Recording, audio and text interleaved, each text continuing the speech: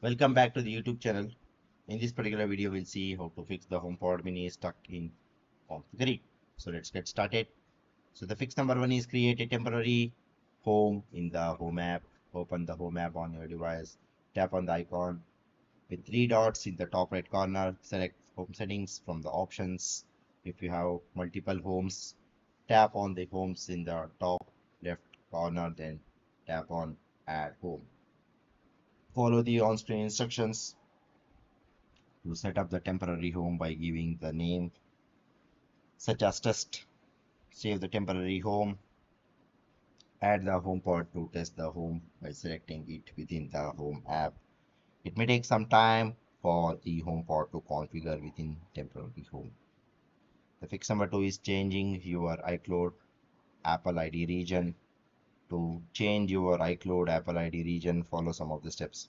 Once in the account area, scroll down to the account settings. From there, proceed to the country region.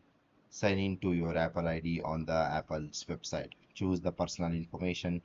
Click country region, then make your selection. The fix number three is update the software on your HomePod. Open the Home app on your iPhone, iPad, or Mac that's just signed in with the Apple ID you used to set up the HomePod. Tap or click the HomePod.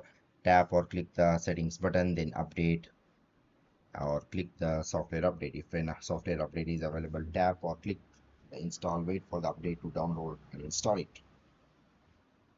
Then you can unplug your HomePod from the power source for some 10 seconds wait for some 10 seconds then plug it the device back in. Give another 10 seconds then using your finger touch the top of the HomePod and wait. The white light on the top of the HomePod will turn red. Keep holding down your finger. Siri will then inform you the HomePod is about to rest. After you hear three beeps you can lift your finger. And the fix number five is you can contact the HomePod support team or you can contact the Apple support team for further assistance. Are the expertise, they will help you to fix the problem and they give you the better solution. Okay, so you can contact them through the website support.apple.com. So that's all about this particular video, guys. I hope you like this particular video. Please do subscribe to the YouTube channel. See you and all. Thank you. Bye.